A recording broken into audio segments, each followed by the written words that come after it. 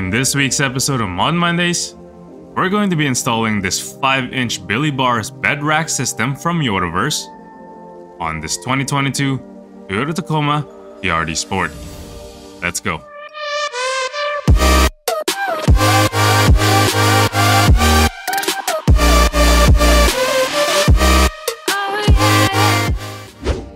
I bought this product from this awesome store called Yotaverse. They sell various off-road products perfect for the Tacoma and Toyota owners in general. My experience with them was great and their personal response game on inquiries is quick and informative. I highly suggest you check their website out, which I'll link in the description box below. The package comes with this detailed instruction manual with a scannable QR code and all the mounting hardware you'll need for this installation. Also comes with these four heavy-duty brackets. I went with the 5-inch high option as I prefer a lower profile design, but there's also an 8-inch high version for those who prefer a slightly taller bed rack system. These brackets seem very sturdy and premium to the touch. Lastly, the package comes with these two heavy-duty crossbars that will mount on the four brackets. Please note that one of the crossbars will have a Billie Bars decal on it, which is aimed to be placed in the rear of your truck. Again, these has some heft to them and feels very solid.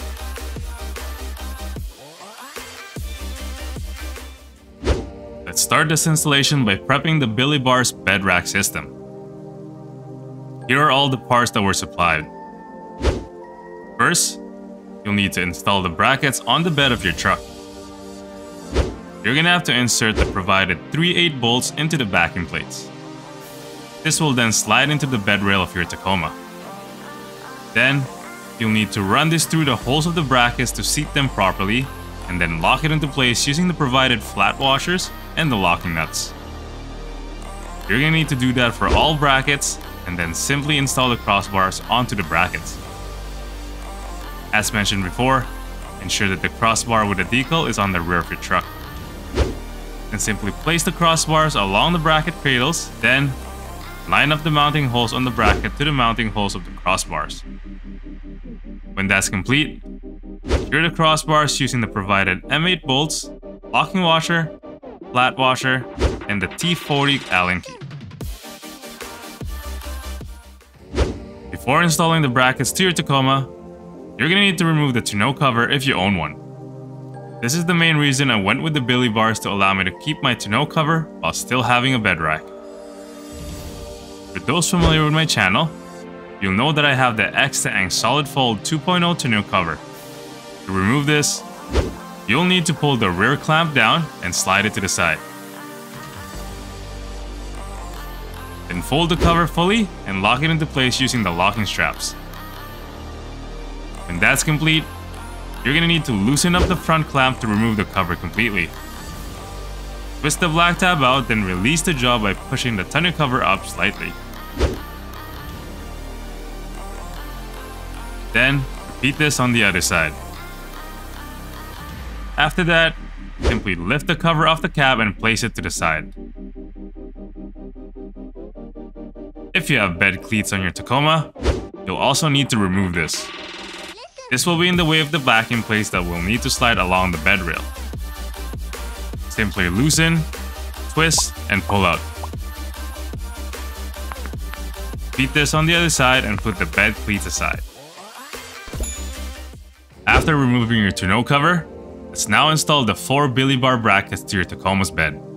You're gonna need your mounting brackets, hardware, a T25 Torx bit, and a screwdriver. First, we need to temporarily remove anything installed in the bed rail starting with the rear mounting clamps for the tonneau cover. Use your T25 Torx bit and a screwdriver to remove this. Put this aside and remove the end caps of the bed rail.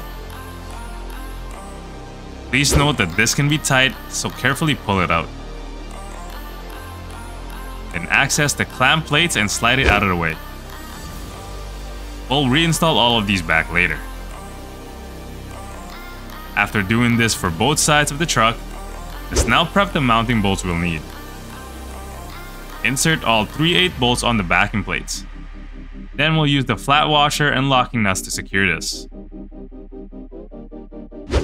Grab a set and slide this into the truck's rail system. You're gonna need 4 on each side. Then grab the brackets and simply place it through the bolts.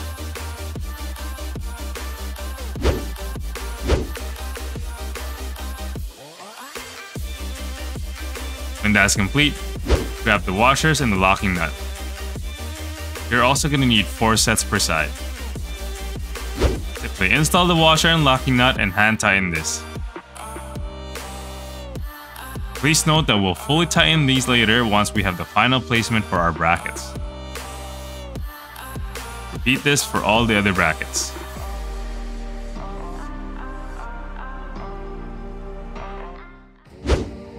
Next step in this installation is to adjust the location of the brackets. This step will be dependent on the size of the rooftop tent you own and any other accessories you're planning on installing. In my case, I have a 48 by 48 inch tent so I base my spacing on that. Grab your tape measure and adjust the front bracket first. I'm spacing mine at 60 centimeters from the front of the bed to the center line of the bracket. Then I'm spacing the second bracket at least 30 inches center to center from the front bracket. I went with 74.5 centimeters to be exact. For the measurements to the back of the bed, I have 64 centimeters. Double check your measurements and transfer this to the other side. This is probably the longest step of the installation for me as I'm so particular and made a lot of checks. When that's complete, grab your drill 3 8 socket and carefully tighten the brackets into place without moving them. If you're having difficulties tightening, place one finger to push the 3 8 bolts into the backing plate slot. Then repeat this for all the other 4 brackets. After this, you need to reinstall the mounting bracket for the tonneau cover and the bed rail end caps. Simply slide the backing plate into place and push the end caps back in. Then reinstall the clamping brackets using the T25 Torx bit and a screwdriver. Then repeat on the other side. If you're enjoying this video so far, please smash that like and subscribe button to support the channel. After installing the brackets, we'll need to reinstall the tonneau cover to make sure it fits with the bed rack system. Grab the fully folded tonneau cover and place it back over the front of the truck box. Make sure that the long side is placed on the bottom and then remove the security latch and unfold the cover fully. Then adjust the position of the tonneau cover so that it's equally spaced on both sides and that the rubber seal in front is touching the truck bed. When that's complete, carefully fold the cover without shifting its position. Then pull down the front clamp and slide it in an angle until it's touching the front clamping brackets. And simply tighten it by twisting the T-handle until the cover is secured to its place. Repeat this on the other side. After this, unfold the cover completely and simply clamp the rear in place. Do this by pulling the spring-loaded rear clamps until it's secured on the rear clamping brackets.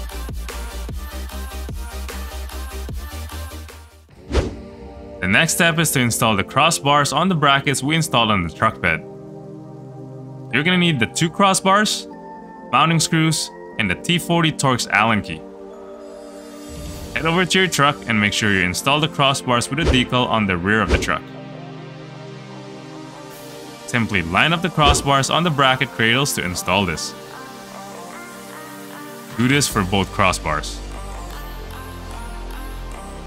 Then grab the mounting hardware and prep this for ease of installation. Add a lock washer, then a flat washer to the mounting bolt.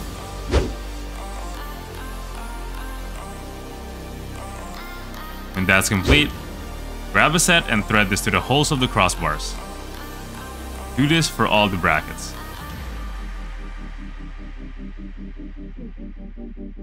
Then grab the provided T40 Torx Allen key and tighten each of the mounting screws we just installed. Please ensure that you don't over tighten this.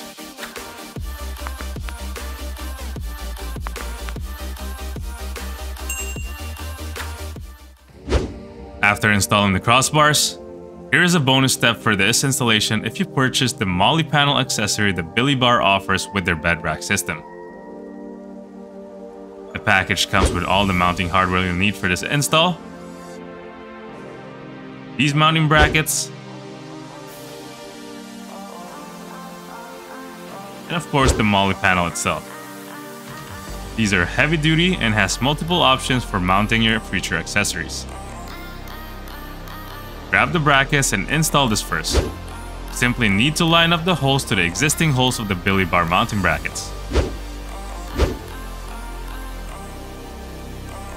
Since there will be a lot of bolts, I suggest that you prep each of these for ease of installation. I separated them into their own type first, and I place a washer onto the mounting bolts. This will be secured in place by another washer and a locking nut combo. Grab a set and start inserting the two bolts on the mounting holes.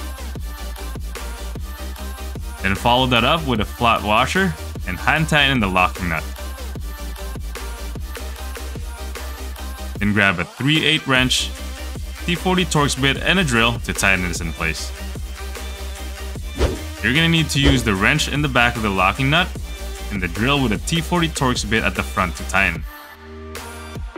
Carefully tighten this and repeat for all the brackets.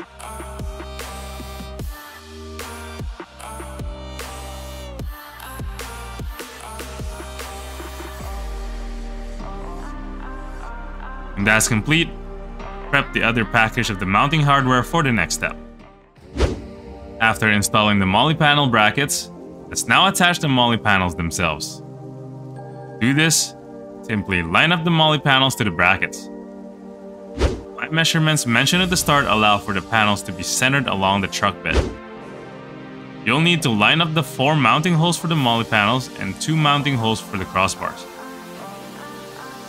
Grab 8 bolts with locking nuts and place all the bolts to hold the panel in place. Then place a washer and a locking nut on one bolt of each bracket.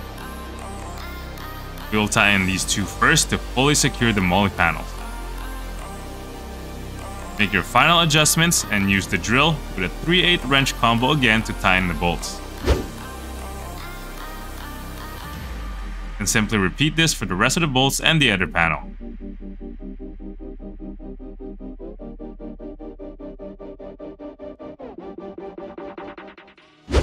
Last step of this installation is to go over a couple of scenarios for the Billie bars.